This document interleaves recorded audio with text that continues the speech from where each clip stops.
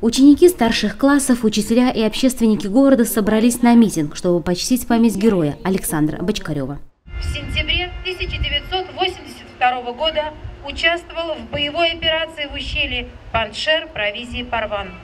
В ходе боя его отделению была поставлена задача обойти противника и огнем отвлечь его внимание от основных сил. Выдвигаясь в заданный район, бойцы попали под огонь и залегли. Уверенно управляя отделением, Бочкарев Александр Петрович занял позицию и открыл огонь из автомата. Александр Бочкарев – легенда нашего города. В свои 19 лет он совершил геройский подвиг. Ежегодно мы вот в городе Салавате при школе номер 7 проводим такие мероприятия, памятные даты Бочкарева Александра Петровича, который погиб с оружием в руках в Панжерском ущелье в горах Гиндукуша, далеко от родины, вот, выполняя воинский долг.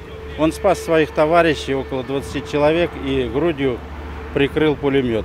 В Священном Писании есть такие слова. Нет выше той любви, чем отдать жизнь за други свои. Вот таких людей мы считаем святыми людьми. Потому что не задумываясь о своей жизни, хотя он был молодой человек, у него была вся жизнь впереди, но он оглянулся и увидел своих товарищей, которые оставались под огнем. Просто он не задумался и сделал это. Минута молчания и возложения цветов как дань памяти. Для учеников седьмой школы это настоящая гордость, что когда-то здесь учился герой Александр Бочкарев. Они с детства растут храбрыми и отважными, а их поступки тому пример. Ученик 11 класса Айнур Галихужин, а летом спас девочку на воде. 15 августа девочка каталась на тарзанке, ну и этот, отцепилась. Но она начала паниковать и кричать. Я и за ней прыгнул. Ну, плаваю не очень хорошо, но все так быстро произошло. Ну, я сам не понял, просто прыгнул и все машинально.